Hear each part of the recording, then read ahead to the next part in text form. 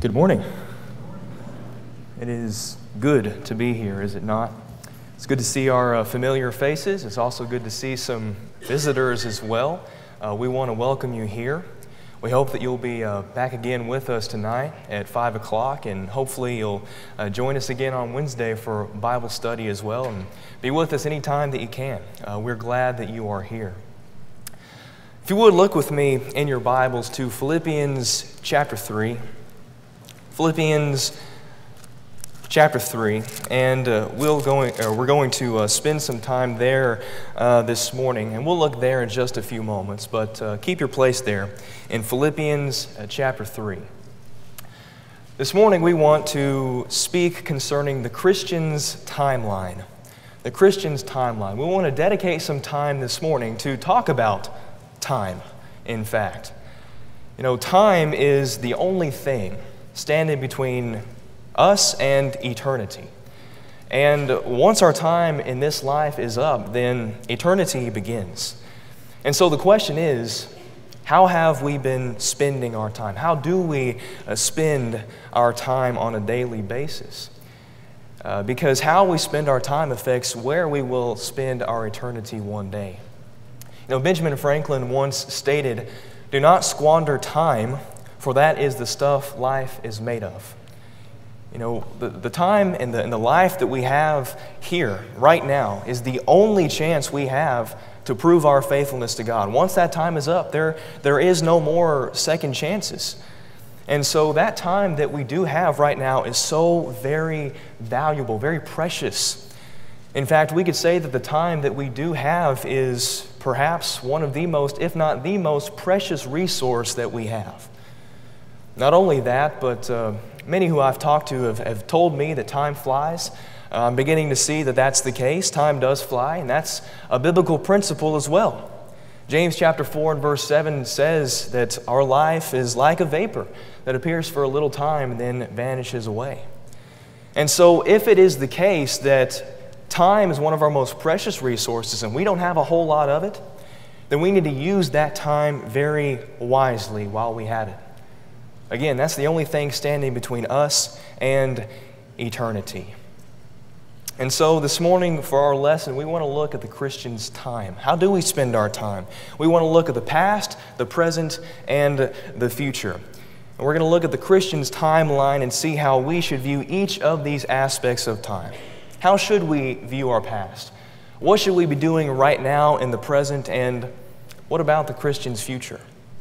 All these things, I believe, we find in Philippians chapter 3 and verse 13. Look with me there. I'd like you to notice with me here what Paul says about this verse. Again, I believe we see here past, present, and future. And Paul tells us how we should view each of these aspects of our time. Philippians chapter 3, notice with me verse 13. This is our main verse uh, for this morning's lesson. The Bible says, Brethren, I do not count myself to have apprehended, but one thing I do forgetting those things which are behind and reaching forward to those things which are ahead. Again, we see here these three aspects of our time past, present, and future. As far, as far as the past is concerned, Paul says we need to be forgetting those things which are behind.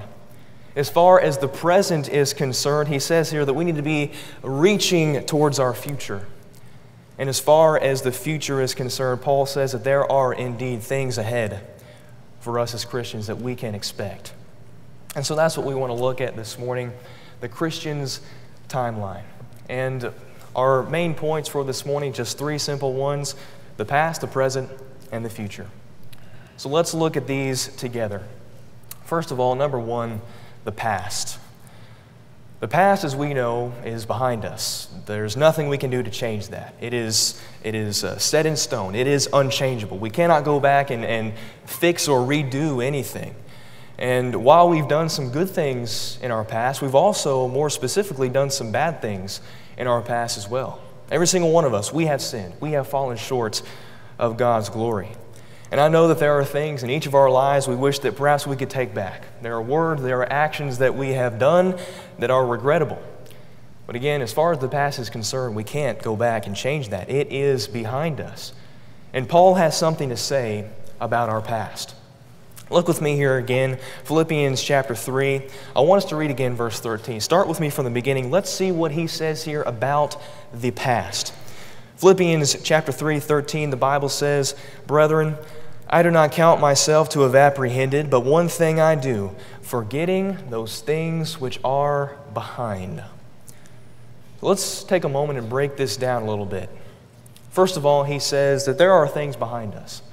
And so the question is what are those things that he's referring to? What are those things in the past that Paul is talking about the need to forget them?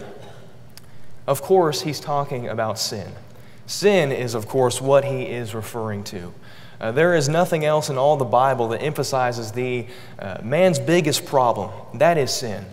Sin is something that every single one of us have, have participated in our life in. We've, we've lived for sin, and it's a part of every single one of our past, and Paul's saying that it needs to stay there. And so, as far as those things behind us are concerned, he's talking about sin. There's nothing else he could be referring to here. That's man's biggest problem. We need to leave those things behind. But he says here also, he uses the word forget. The word forget. And we need to make sure we understand how he's using the word forget because that determines what he's talking about here in this context.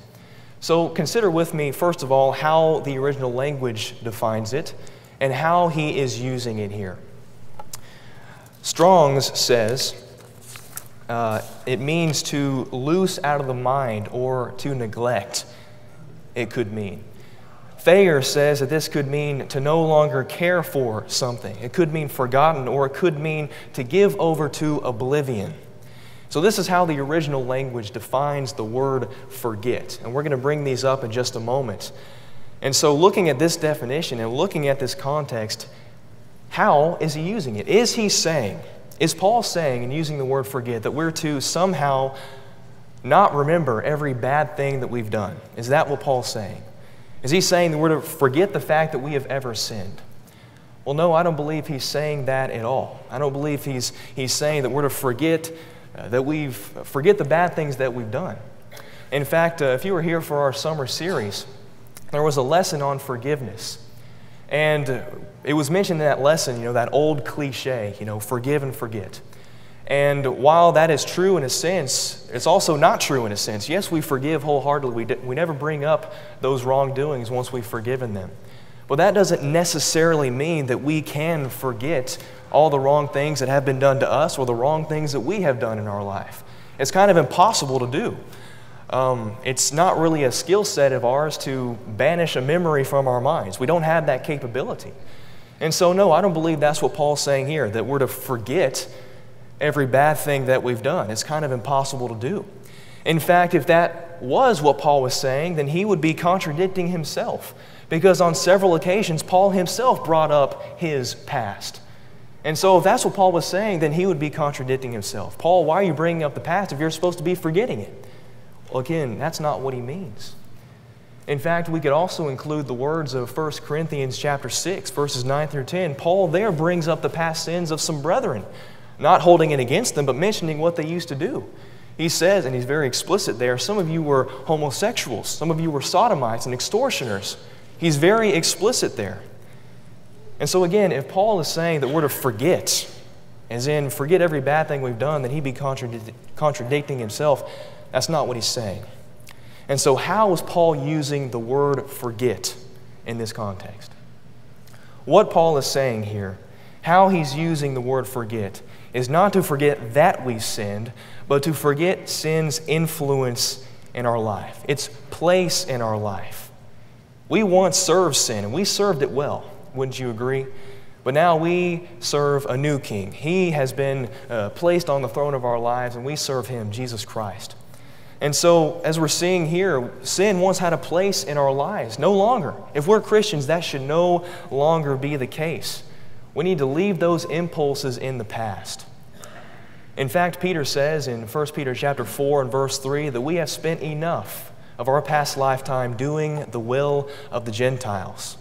Peter brings up the past, and he says, as far as those past things, those sins, it's time to leave those in the past where they belong. Again, remembering the definitions we looked up concerning this, Strong says that this could mean to neglect. That's the idea, not necessarily to not remember, but to neglect it. Thayer also says it means to no longer care for it. He also says, and I think this is the strongest phrase that he uses here, to give it over to oblivion or destruction. And that's how we should view sin in our life. We should give it over to destruction. It is dead to us. Look with me in your Bibles to Romans chapter 6, very briefly. Romans chapter 6. I'd like you to notice with me verses 6, 11, and 12. This is a, a context uh, concerning our baptism and how when we were baptized, when we became a new creature in Christ, we put to death that old man, that old person of sin. And as far as sin is concerned, it no longer has a place in our lives. Romans chapter 6, Read with me verses 6, 11, and 12. Verse 6, the Bible says, Knowing this, that our old man was crucified with him, that the body of sin might be done away with, that we should no longer be slaves of sin. Verse 11. Likewise, you also reckon yourselves to be dead indeed to sin, but alive to God in Christ Jesus our Lord. Therefore, do not let sin reign in your mortal body, that you should obey it in its lusts. In other words, we once served sin as our master. That is no longer the case. As far as our service to sin, it is gone, it is in the past, it is done with. That should, how we, that should be our view in relation to sin. And so, looking again to Philippians 3 and verse 13, that's what Paul says about the Christian's past. Not necessarily to forget that we sinned, to forget every bad thing we've done, but to forget sin's influence in our life. Sin has been a part of every single one of our past, and it should stay in the past. It should not be a part of our present.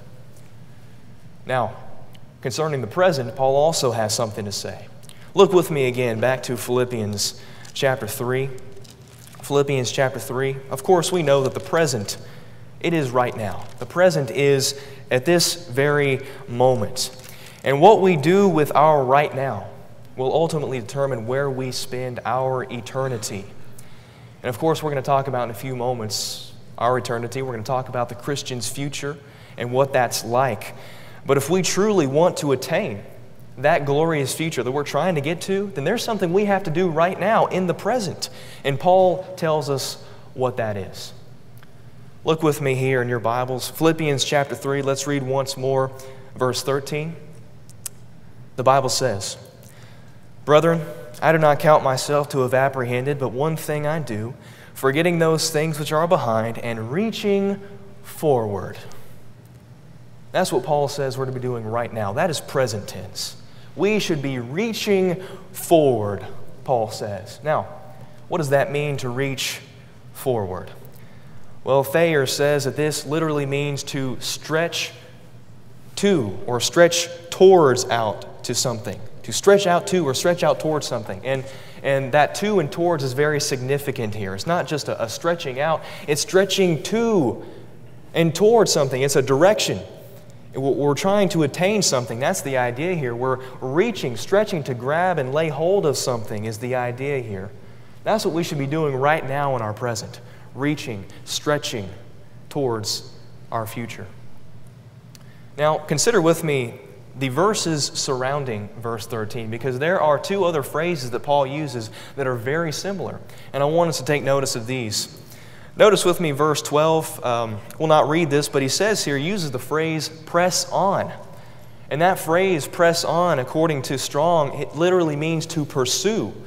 That's the same idea as that stretching forward. We're reaching for something, we're pursuing something, we're going after something. That's the idea.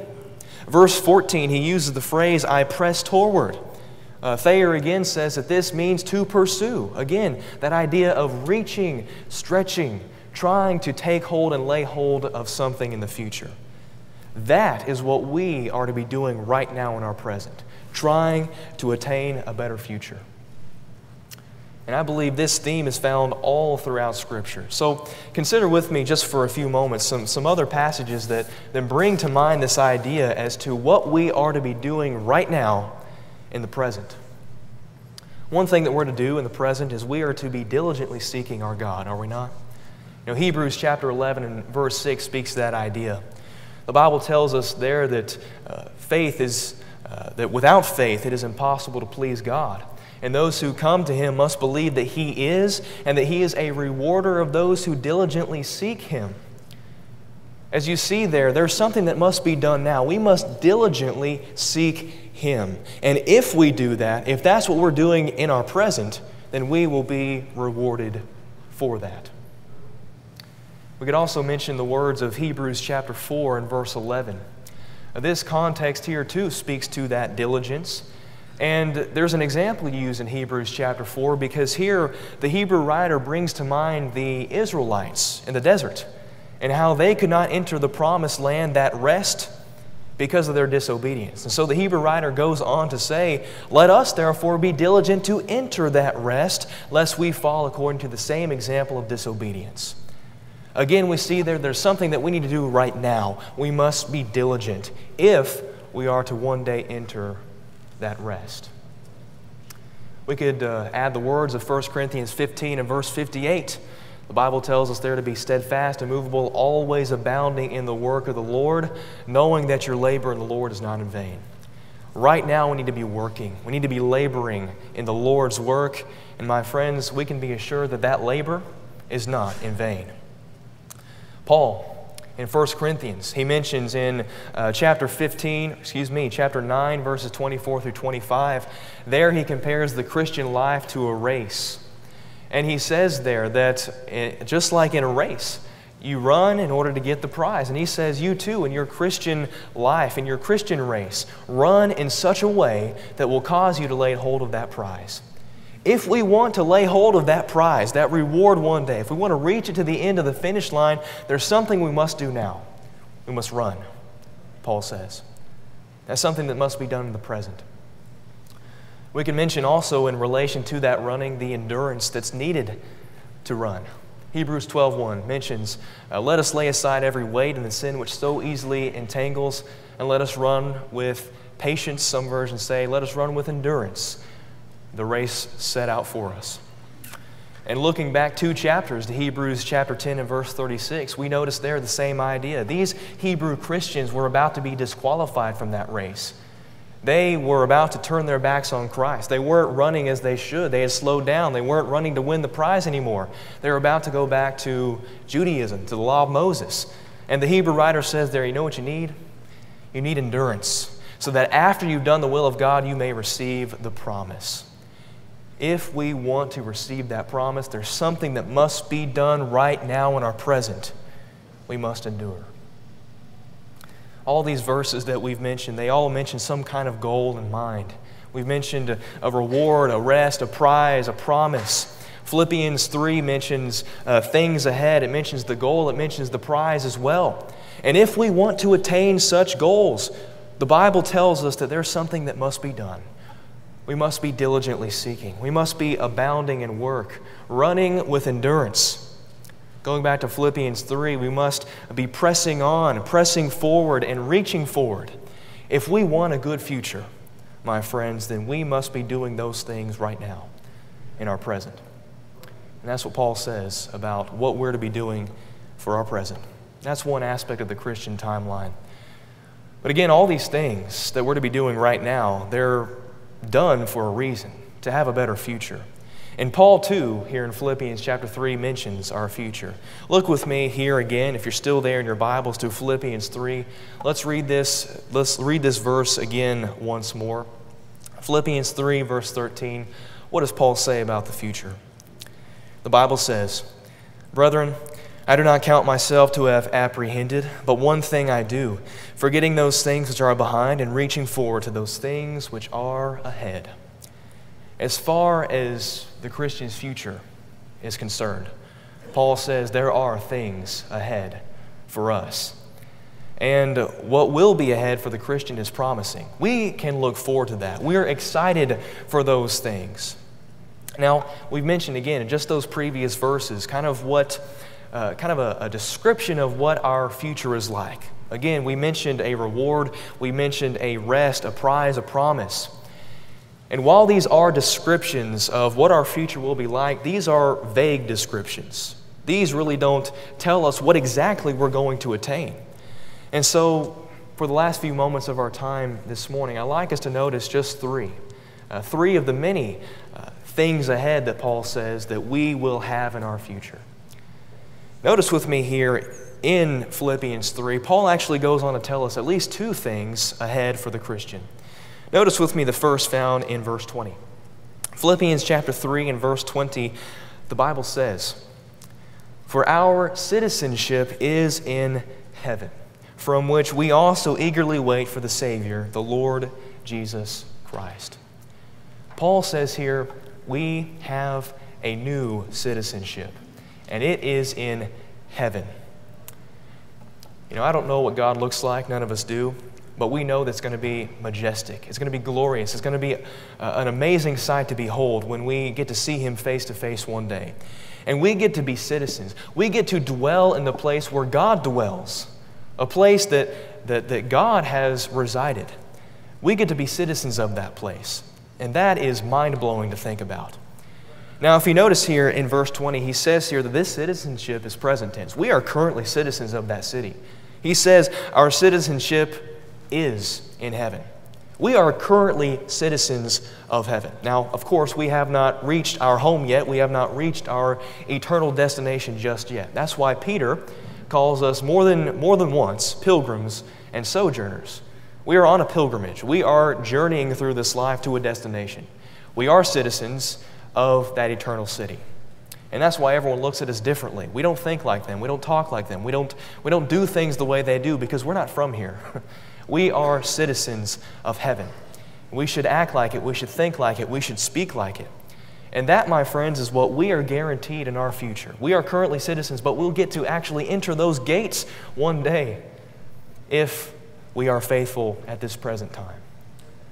And that is just one of many things that we can look forward to for our future. Another that we find here in Philippians chapter 3, notice with me verse 21.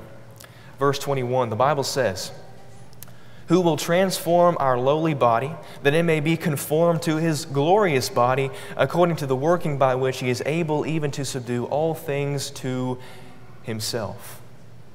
Paul says here that our bodies will be transformed our bodies, the, the ones that we have now, the ones in, that, that we uh, live and grow in every day, the ones that we occasionally feel such things as pain and, and ailments and sickness, soreness, frailty of any kind, this body that we have will be changed. It will be transformed. We'll no longer feel those things any longer. And that, my friends, is a fascinating truth that our bodies will be transformed, the Bible tells us. Now, as far as what that transformation will be like, we have no idea. The, the scripture tells us. John tells us in 1 John chapter 3 and verse 2, it has not been revealed what we shall be, but we shall be like him. That's all we know. In other words, we don't know what that's going to be like, but it's going to be amazing. it's going to be something to look forward to. We'll just have to wait and see, is what he's saying. And, and, and we can take that as a guarantee that we will not be disappointed at this transformation. That is a fascinating truth that Paul tells us here. And that's one of those things that we can look forward to. One last passage I'd like us to look to together. If you would, look with me in your Bibles to 1 Thessalonians chapter 4. 1 Thessalonians chapter 4, this is another one of those things ahead that we can mention. Now, let me give you some background here as to what's going on.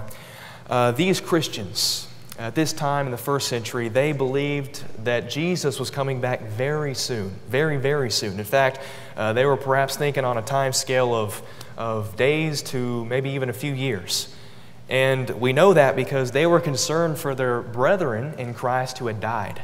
They were worried that they had missed Christ's second coming. And so Paul writes this context to put their minds at ease, to comfort them, to let them know that, hey, they're not going to miss anything. And so, really, what we're seeing here in this context, Paul paints a picture for us as to what the last day on earth is going to look like. He tells us what the last day is going to be like, and he, he gives us a scene as to what Jesus coming back will be like. Let's look at this together. The, the, the point I want us to notice is found at the end of verse 17. But let's read this context together. 1 Thessalonians 4, starting in verse 13. The Bible says, But I do not want you to be ignorant, brethren, concerning those who have fallen asleep, lest you sorrow as others who have no hope. For if we believe that Jesus died and rose again, even so God will bring with him those who sleep in Jesus. For this we say to you by the word of the Lord, that we who are alive and remain until the coming of the Lord will by no means precede those who are asleep. For the Lord himself will descend from heaven with a shout with the voice of an archangel and with the trumpet of God, and the dead in Christ will rise first. Then we who are alive and remain shall be caught up together with them in the clouds to meet the Lord in the air, and thus we shall always be with the Lord.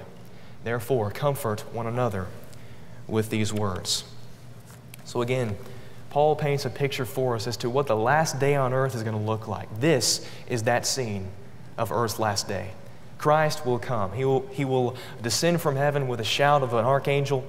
The, the trumpet will sound, and we will meet him in the air with the uh, saints who died in Christ long before us, and we'll meet them in the air. But the most important thing I want us to notice here, as far as our future is concerned, is what we read at the very last of verse 17. He says here that we will always be with the Lord. My friends, that is what our future holds. We will always be with our Savior. Not only are we going to see Him for the first time, not only will our joy be overwhelming from that moment on, but we will get to be with Him forevermore. And that, my friends, is what Paul says about our future. There are things ahead for us if we're doing something now in the present and if we're leaving behind the past. So, we've looked at the Christian timeline this morning the past, the present, and the future as far as, as Paul tells us in Philippians chapter 3 and verse 13. He says that our past, in living for sin, uh, we need to neglect it. We need to uh, get rid of those impulses and its influence completely. As far as our, our present, living right now, uh, Paul says we need to be reaching for that glorious future, reaching, pressing, pursuing, seeking it wholeheartedly so that we may attain it. And finally, he says of our future, that there are things ahead for the Christian, and we've noticed what some of those things are. Glorious things, my friends. We have uh, uh, such blessings in this life and in the life to come. And at this time, we want to extend the invitation. I, I want to speak to those who are not Christians. If you're not a Christian, then you're missing out on all these wonderful things. You know, we're going to talk tonight uh, about singing. And I, I was going to mention one song that there's a, there's a great day coming. There is a great day coming. But there's also a sad day coming for those who have never obeyed the gospel of our Lord Jesus Christ. We need to make sure that we have done that. We need to make sure that we're faithful to Him right now in our present. If there are some here who are Christians and we've not been living as we should, we encourage that you do so. If anyone has any need at any time, please let it be known as we stand and as we sing.